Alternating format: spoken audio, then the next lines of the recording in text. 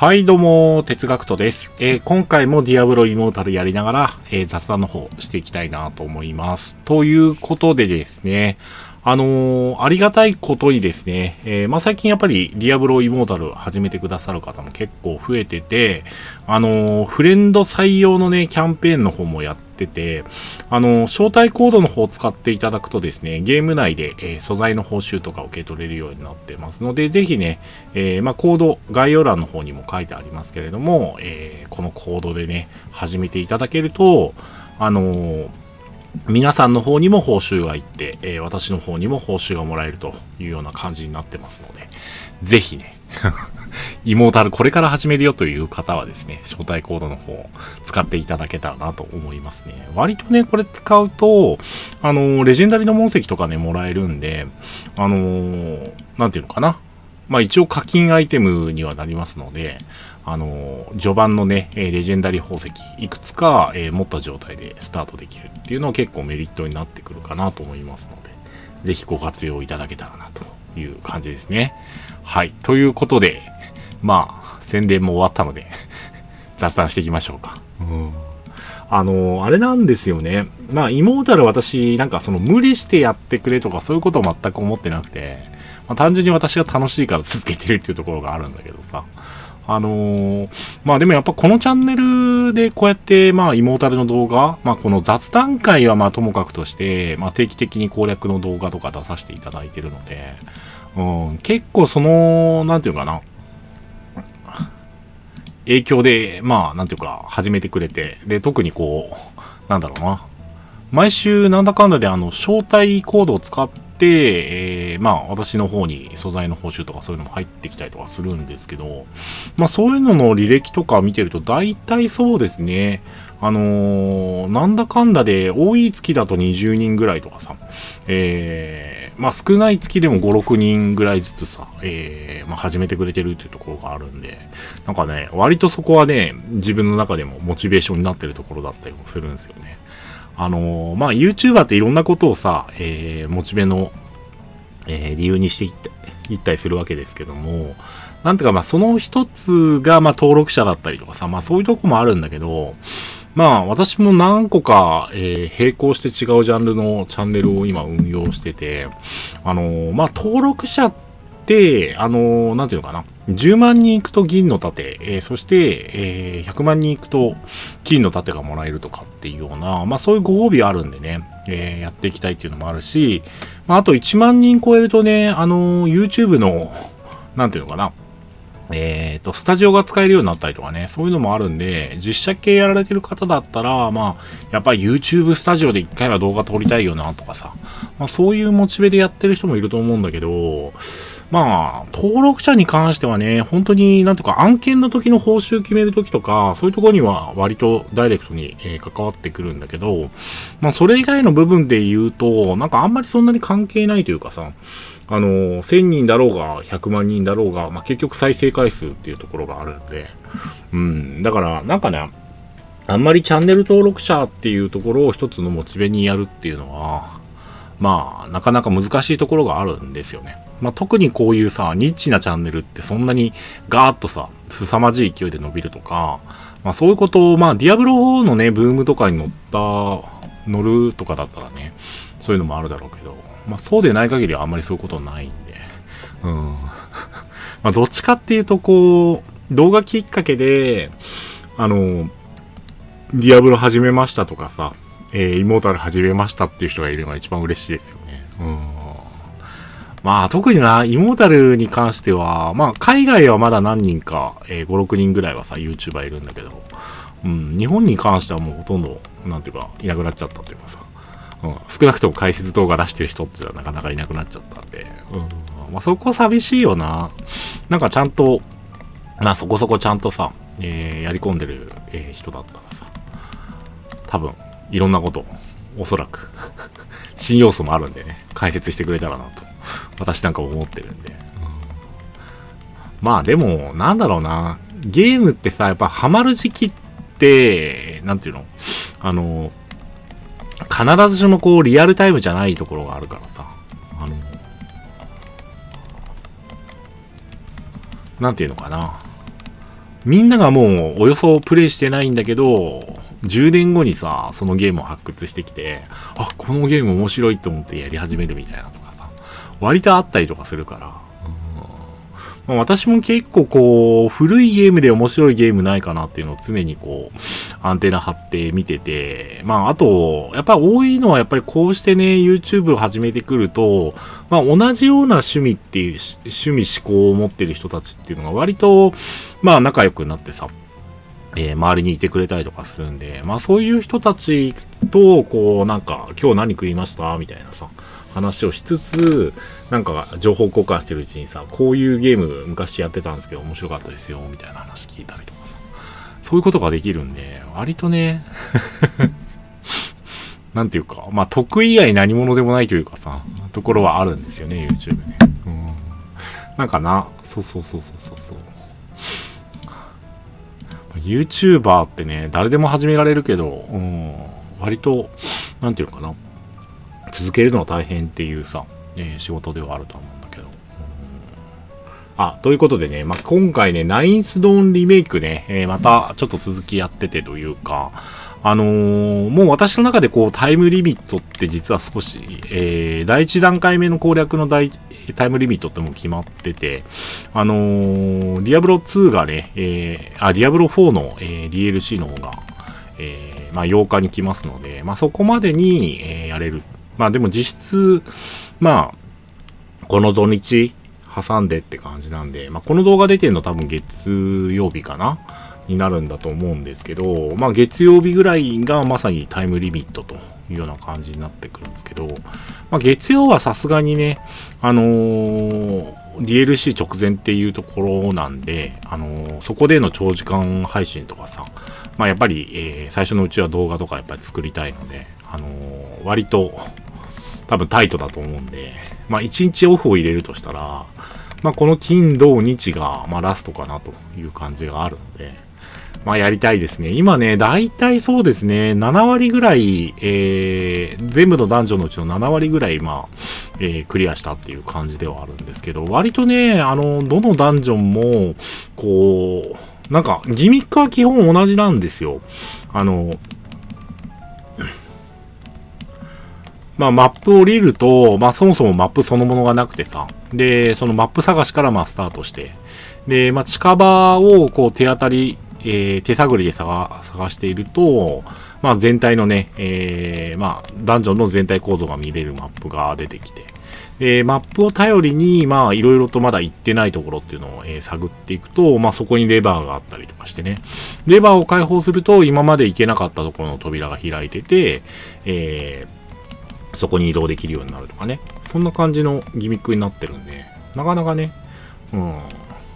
なんかそこを一つ一つ埋めていく感じっていうのはね、むちゃくちゃ面白いんですよね。うん。あとね、結構操作もなんだかんだで白すらしてるんですよね。えー、殴って、えー、なんていうのかな。ライフを回復、えー、殴、殴りつつ、こう、まあ、避けたりとかさ、まあ、そういうとこもあったりとかして、うん、割とその、2D っていう見た目でああいうゲームって、なんていうのかな、あの、そもそもちょっと、興味持たないっていう方もいらっしゃるみたいなんですけど、2D ハクスラの良さって、なんだろうな、あの、グラフィックは当然ながら、まあ、3D のものに比べるとね、しょぼい感じに見えるんだけど、逆にまあそこが、なんていうか、シンプルでいいというような感じでさ、評価を得たりすることもあるんで、まあ、ヴァンパイアサバイバーズなんかはまさにそういう感じですよね。あのゲームって結構その、なんだかんだで敵が大量に出てきたりとか、まあそういう部分があるんで、あの逆にやっぱりこう、あんまりこうグラフィックの負荷が高くならないような、えー、グラフィックの作り方をしようと思うと、やっぱドット絵調のものになってくるし、で、まあそうは言っても、なんだろう、割とその最新のパソコンでも、えー、なんていうか、超絶強化した状態のキャラクターとかだとさ、割と重くなったりするようなバランスになってるんで、あのー、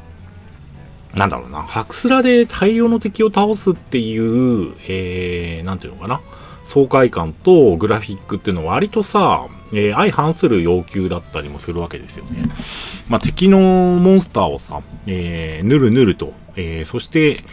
えー、こちら側のさ、アクションもぬるぬると動くような状態で、えー、やっていく、えー、低スペックで動して、動かしていくって難しいから、まあなんていうか、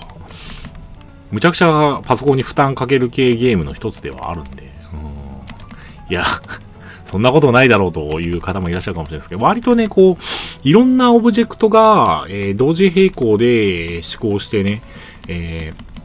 ー、動いてくるっていうようなもの。まあ、例えばさ、こうやってさ、あの、外見にいてまだ射程外にいるような敵とかもさ、ちょっとずつ動いてるわけですよ、こういう感じでね。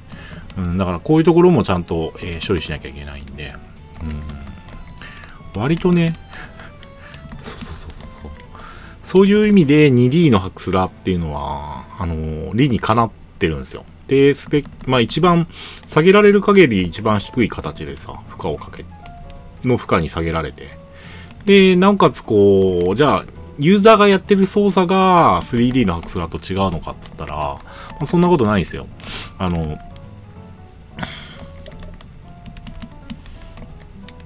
割としっかりとね、ハクスラしてるって感じになってるんで、うん。だから、なんか最初ほんとね、あの、レビューの動画とかでも私、まあ、正直最初返品しようかと考えてますみたい、ま、ましたみたいな話聞くとさ、なんかそれだけで、なんか、やる気がないのかとかさ、そういうことを言う方いらっしゃるんですけど、あの、それはもう率直な感想なんでね、あの、ただまあ当然ながら私は、なんていうか、基本的にゲームやるときは、まあ、これ最後までやるかやらないかで動画化するかどうか決めてるんですよね。だから、あのー、なんていうのかな。なんかレビューだけ出して、ね、全然エンディングまでやりませんとかさ、そういうのは絶対やらないんで、なので、まあそういう意味もあって、ここ3日間は、とにかく時間を作って、ナイスドーンリメイクに、え没頭してるというかさ、感じではあるんだけど。あいや、おもろいですね。割とこう、なんていうのかな。えー、一つ一つの要素は単純なんだけど、あの、なんていうのかな。まあ、ダンジョン対策はやっぱり今のメインにはなってるけど、あのー、新しいダンジョンを攻略したら、まあ、それを使ってまたね、あのー、スレイザースパイアー調のね、えー、カードゲームの方ができたりとか、あと、そうですね、あと、まあ釣りの方ですね。釣りも結構、あのー、なんだろうな。発売したての時は割と難易度高、まあ最後の方のステージとかは難易度高めだったんだけど、最近あのパッチでまた緩和が来たりとかしてるんで、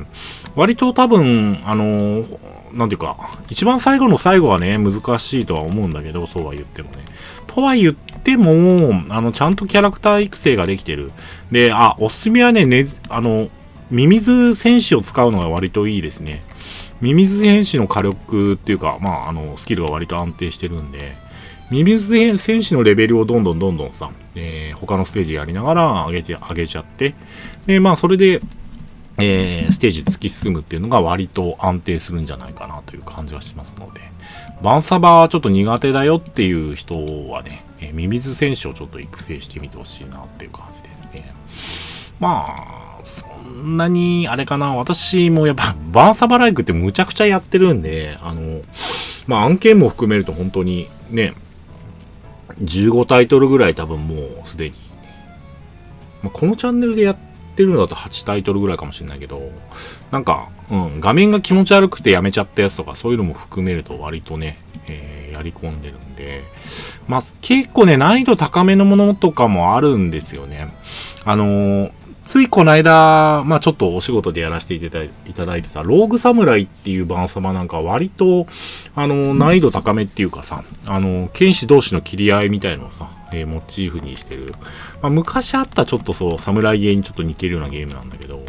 あれなんかはもう結構、えー、なぐ、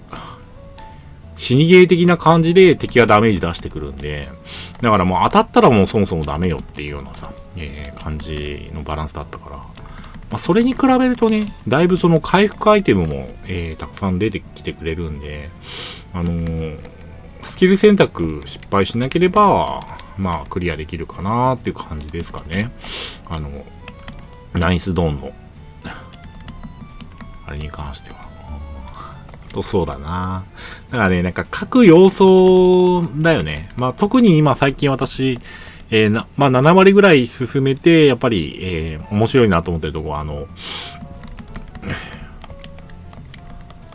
なんだっけ？ポケモンじゃないわ。えー、っと、なんかいつも名前出てこないんだけど、モンスターのあの、進化の部分ですね。あそこが割と楽しいなと思っていて。うん。あの、進化、なんていうかな、と、ある程度まで進化させると割と進化素材が足りなくなってきてきついなっていう感じになってくるんですけど、あの、まあ、そこの素材も少し緩和されたり、あとその、えー、進化させるのに必要な前提のレベルとかも下がってたりとかするんで、だから、まあ、そこも結構バランス調整が入ってるかなって感じですし、まあ、ち、細かいところで言うと割とこう、今まではコマンドでしかできなかったスキルとか、えー、ステータスの振り直しがボタンで一本、一発でできるようになったりとかね。あと、あのー、手下のね、えー、ライフの部分とかも、えー、ちゃんと、えー、出てくれるような感じになったんで、うん、いいかなと思いますね。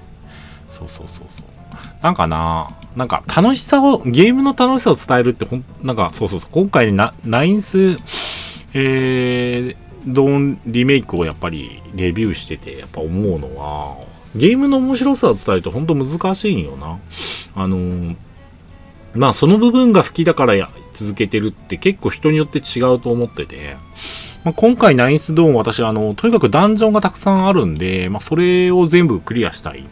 まあストーリーも一応あるにはあるけど、うん、まあネタバレには特にならないかもしれないけど、うん、なんだかんだで20個じゃない、30個、40 30個ぐらいはまあダンジョンあるんで、まあそこを全部ね、えー、マックスの100%の到達度まで上げたいなというような感じで、まあ進めてるっていうところもあるんですけど、うん、割とな、そうそうそうそうそう。そういうとこのやり込みが、まあ楽しいとかん、た楽しいと感じるかっていう言い方も変だけどさ、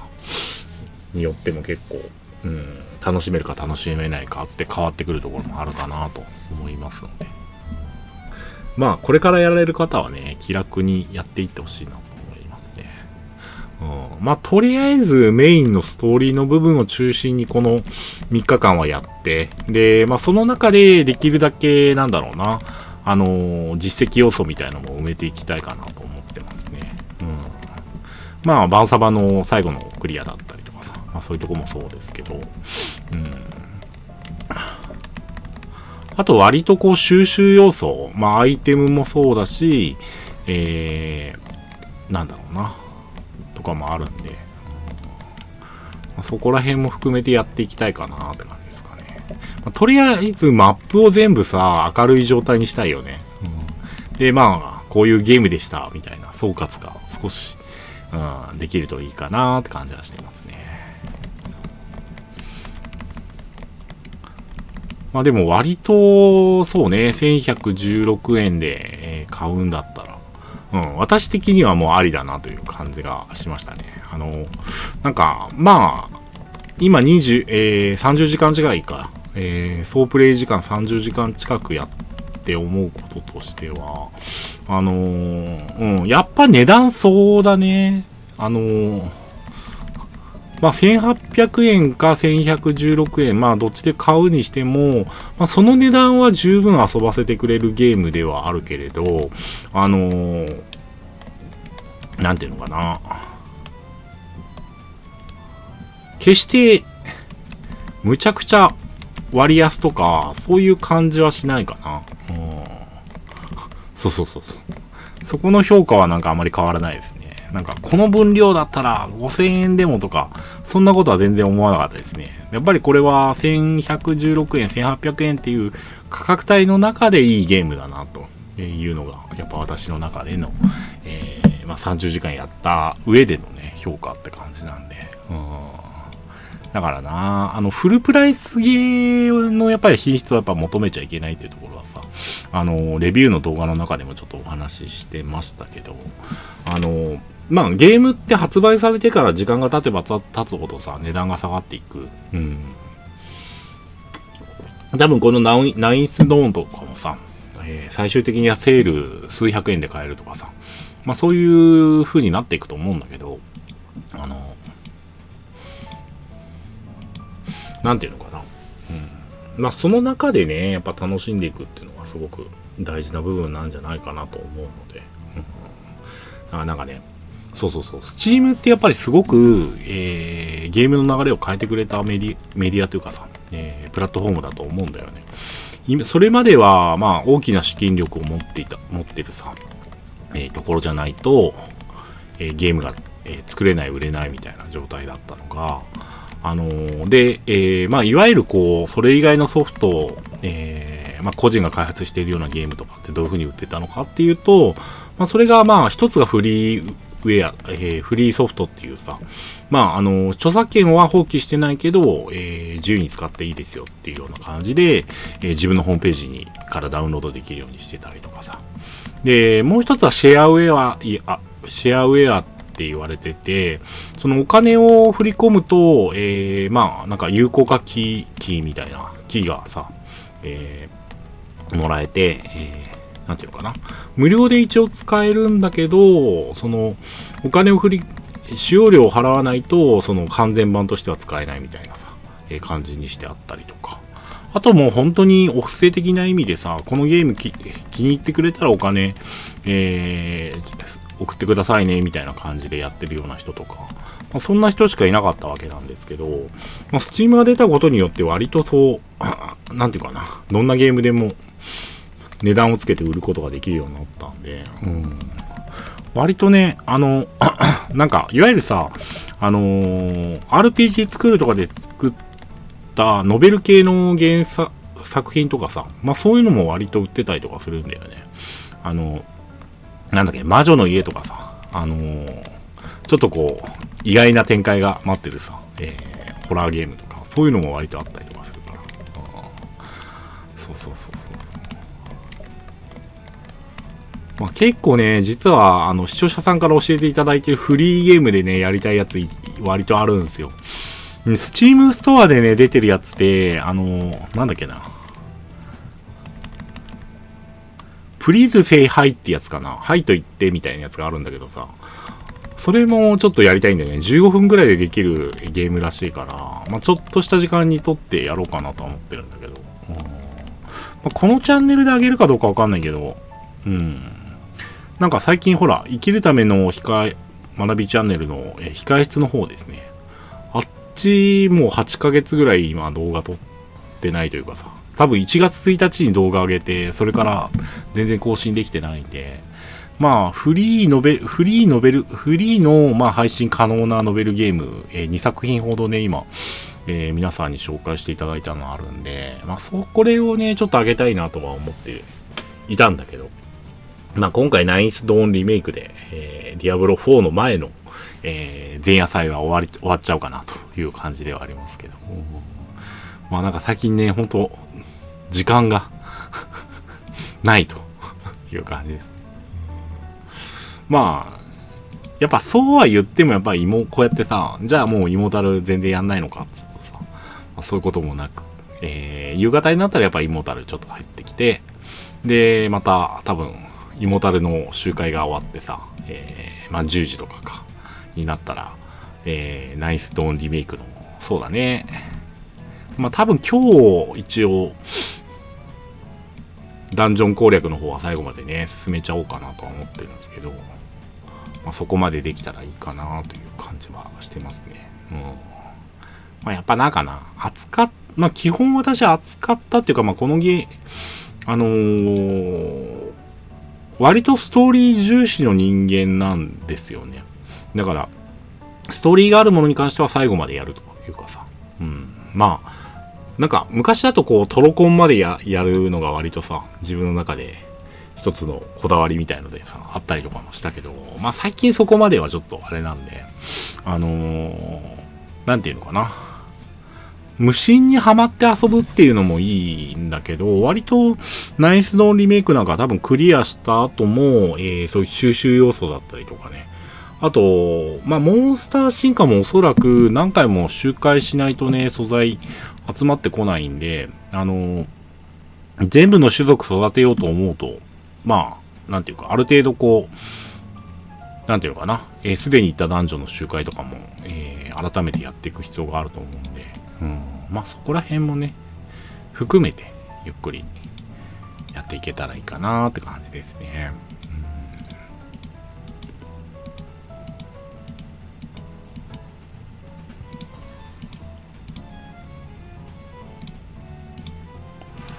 そろそろ馬場ちゃんをなんか違うクラスに変更しましょうかね。とは言ってもなんか、またすぐにインフェルノ3の追加が来て、来月には新しいレジが出始めそうですか。うん、そう。まあ、レーディング的なところはもう割と安定してきちゃってるんまあ、あとはあれですかね。セットアイテムをおそらく一式インフェルノ3仕様で作り直せば、十分レートがおそらく足りてくるのかなと思いますね。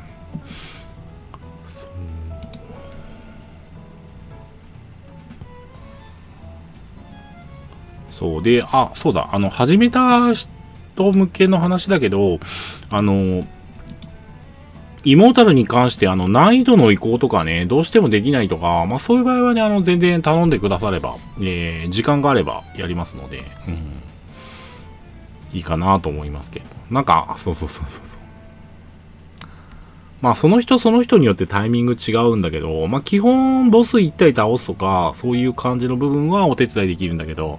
まあ、周回ってなるとやっぱり最前線のプレイヤーと、えー、始めたばっかりのプレイヤーだと一緒に、えー、回すとあんまり効率よくなくなっちゃうんで、まあだからそれはまあクイックマッチでやってもらった方がいいかなって感じはしますけども、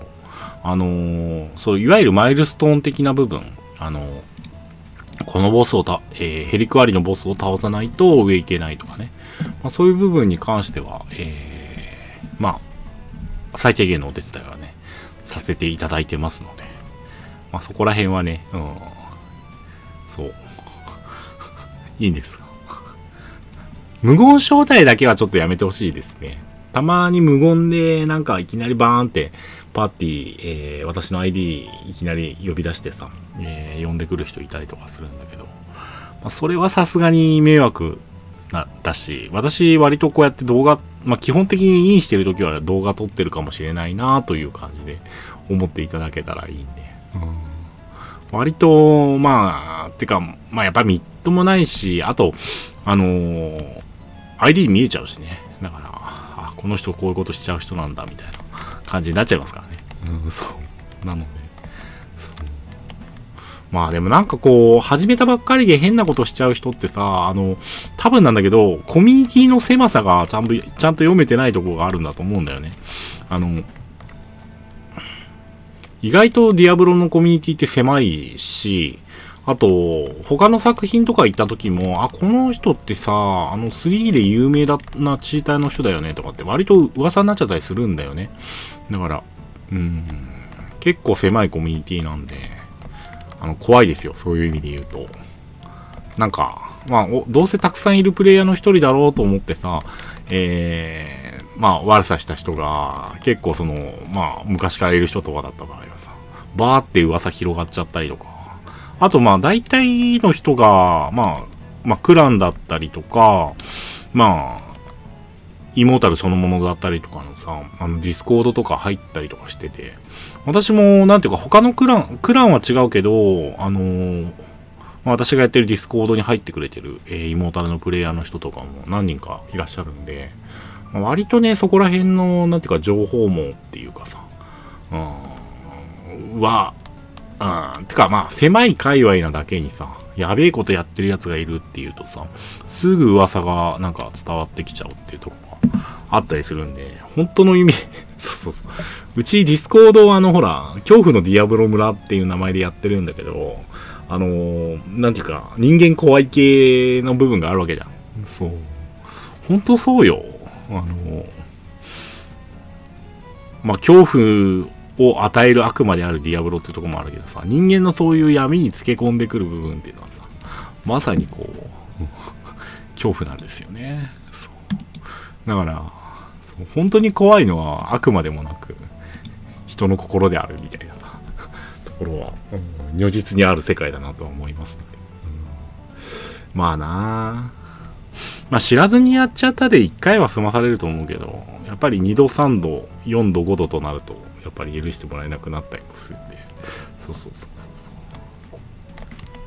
まあ頼み方ですよ。やっぱりあの普通になんていうの？初対面の人に話しかけるような感じで、あの、申し訳ないんですけど、やってくれませんかって言えば、あの、誰でもやってくれるんで、そうそう、そこで、なんか突然さ、これできんだけどやってくれへん？みたいなさ、感じで、まあ、タメ語でいきなり行くと、ちょっとあまり良くない可能性はあるよね。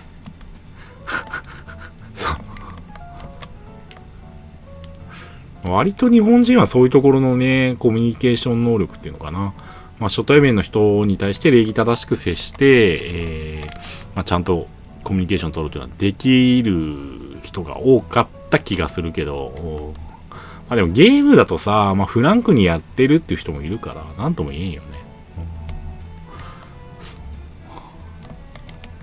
私も、うん、まあ、結構動画によって分けてるというかさ、まあ、ところもあるからね。そこは難しいところだなと思いますけど。そう、なんかな、これ。ワールウィンドならワールウィンドで、組みたいんだけど、ワールウィンドってやっぱり、移動しながら攻撃できるスキルなんだけど、割と使いどころ難しかったりするからね。うん特に芋の場合は、移動速度的な部分もあるしさ。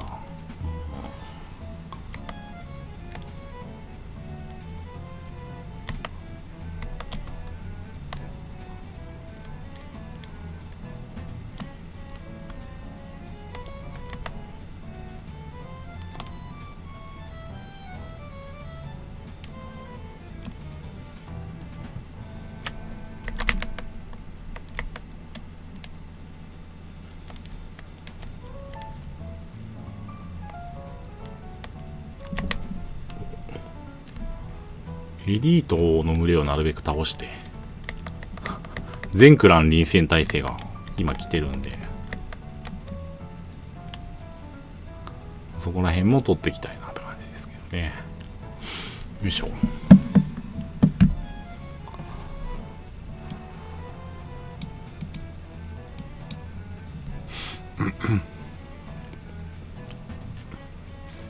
まあ今日はシャドウウォーがちょっとあるんで、シャドウウォー出て、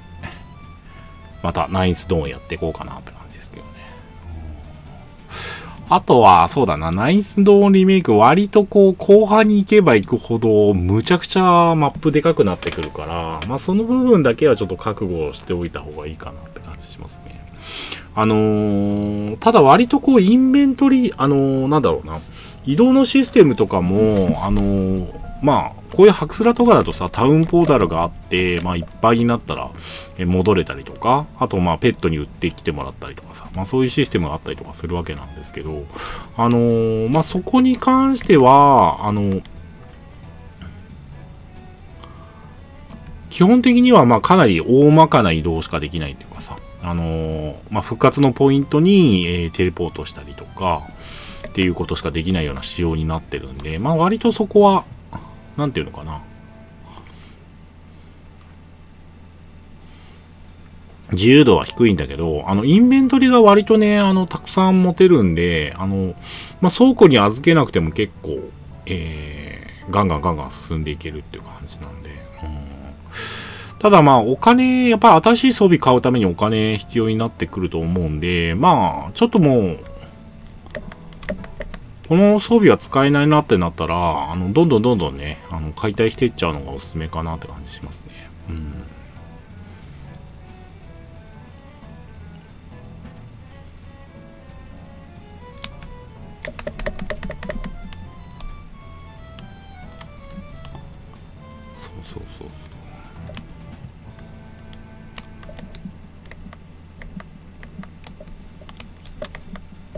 まあ、装備も私もなんか結局最初はいろいろと効果で選んだりとかしてたんだけど、あのー、まあ、異物とか、あと、アミュレット指輪枠とか、指輪もね、なんか最終的になんだ、4つぐらい付けられるようになるんで、あのー、そこら辺はまあ、自由に選ぶとして、まあ、防具とかに関してはもう本当に、防御力重視だし、武器に関しては火力重視みたいな感じで選んでて。うん。で、基本盾とあと杖で戦うみたいな感じにしてる感じですかね。とにかくね、魔法が強いんですよね、あのゲーム。あのー、あと、まあ、とにかく強いのは、あの、シャドウのさ、えー、チャージボルトだっけ？んチャージライトニングだっけ？だったかな？あのー、雷が連鎖して出てくるやつなんですけど、割と、あの、ダンジョンが狭いんで、あの、まあ、とりあえず、チャージボルト置いとけばさ、あの、連鎖して当たるっていう感じになってるし、あの、ゲームの使用上ですね、違うランクの、えー、同じスキルだったら、同時に発動させてもクールダウン時間とかね、えー、重ならないような感じになってるので、だからランク1、ランク2、ランク3あたりのやつを、えー、まあ同時にね、え、置いとくだけで、まあ敵が溶けていくって感じになってるんで。で、まああとはそうですね、なんだかんだでまあ、あの、モンスターの方をちゃんと進化させておくと、結構そのサモナー的な感じで、まあ、召喚ネクロみたいな感じでさ、手下が、えー、敵を倒してってくれるような感じにできますので、まあそんな感じでやっていくと、割と、うん、スムーズに、えー、序盤進めていけるんじゃないかなという気がしますので、うん。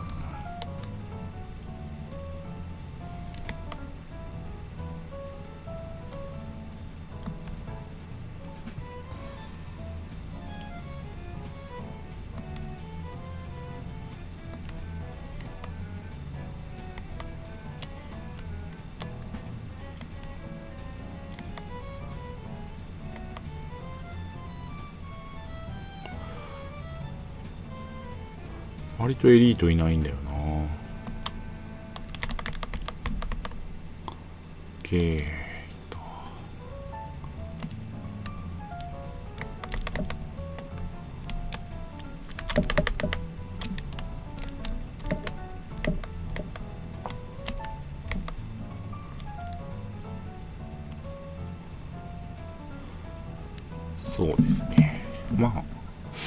スターの進化も含めてねまあちょっとなるべく早めに、うん、スタートしていただくと、効率よく、スムーズに攻略の方を進めていけるんじゃないかなと思いますので。ああ、でも、あれかな。難易度の方は私はまあすごい一番簡単な難易度にしてるんですけど、うーん、まあノーマルでも正直良かったかなってところはありますかね。うん。まあ、多分なんだけど、あの、一番下の難易度だと手下に任してるだけで別に魔法とかかけなくても、あのー、ガンガン敵倒せるような感じだと思うんで、まあ、そこに関してはね、うん、なんかね、うん、少し難易度は高くてもいいかな。まあでもなんか、そうそうそう、周回ゲーあるあるなんだけど、たくさん回すってことを考えると、まあとにかく敵が柔らかい方がええっていうさ、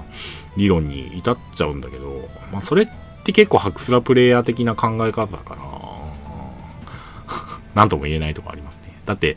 その、まあ例えば素材集めるにしてもさ、あの、モンスターが一撃で死んでいくのと、10発殴らないと死なないっていうのではさ、割と違うから。なので、まあ、とりあえず私は、の実況は、まあの、ななんていうか、イージーでやっているけど、うん、まあ、そこも時間かけて歯応えある戦闘やりたいなと思ったら難易度を上げるとかね、いう方法もあるんで。難易度変更も多分どっかでできたはずなんで、うん、まあ、ノーマルあたりでやるのがいいのかな。あとなんか、あのー、保管庫が共用になってるんで、あのー、なんだ、能力値アップアイテムとかをあえて温存しといて、他のキャラクターに持っていくみたいなこともね、一応できなくはないらしいので、うん。まあそういう、まあ最高の難易度でキャラ育成しながら、ちょっと敵が強すぎてきついなってなってきたら、下の難易度のキャラクターでさ、えー能力値アップアイテム集めてきて、渡してやるとかさ。まあ、そういう遊び方もまあ一応できるようにはなってるのかなと思いますので。うん、まあ、なんだろうな。そこはもう本当にやり込みの世界になってくるとは思うんだけど。うん、割と遊ぼうと思えば、えー、ずっと遊べるゲームにはなってるのかなという、えー、印象でしたので、まあ、多少なりともね、参考になればいいかなって感じですね。はい。ということで、えーと、そうだなもう一回だけ行くか、エルダーリフト。もうね、マックスにはなってるんだけど、ちょっとエリートのキル数が少し足りなそうなんで、少し上げときますか。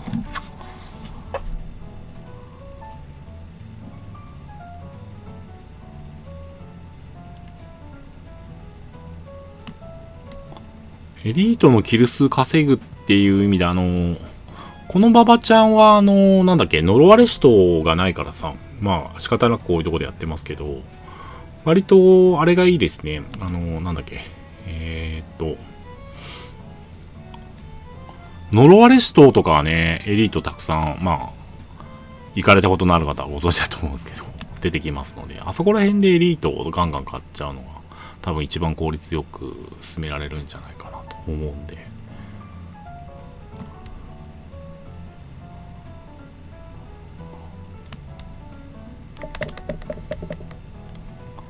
そうエリートも割と瞬殺できるんで。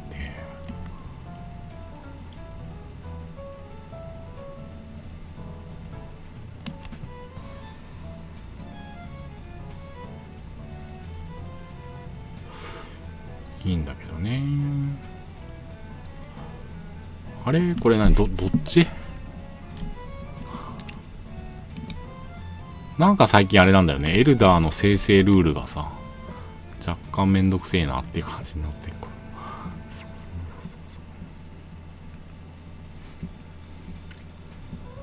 まあ、あくまでも、なんだろう、あのー、ランダムマッパ生成とかじゃないんで、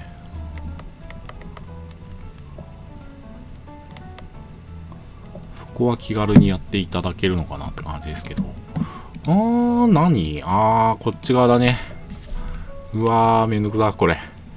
こういう風になっちゃうのかなちょっとね。うんなんかこう、その道進んだら、もう、えー、なんていうか、引き戻してこないとダメですよ、みたいなルートが生成されちゃうっていうのは、まあ、結構マップ生成のルートとしては悪手なんで、うん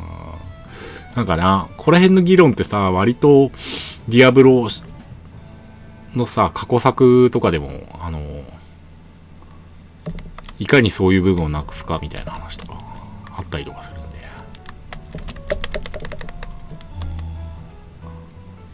なんかな、毎回歴史をこう、ゼロからやり直していくって面白いよね、このゲーム なんか過。去もそれ問題になってましたよねみたいな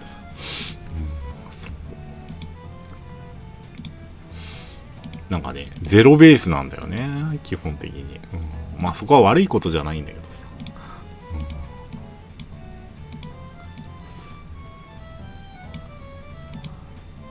うん、はい。ということで、まあ、全クラン臨戦態勢も始まったので、またね、ゆっくりやつやり込んでいこうかなと思いますね。まあそうですね。そしたらまたそうですね、えー、次回、えー、雑談動画の方も撮っていきたいと思いますので、よろしくお願いします。まあ、ナインスドーンリメイクも何かわからない部分とかあればね、あの、実況の方にも、えー、コメントしていただければお答えしようと思いますので、ぜひね、えー、楽しんでいっていただけたらなと思います。まあ、来週からはもう本当にね、4一色にはなっちゃうと思うんで、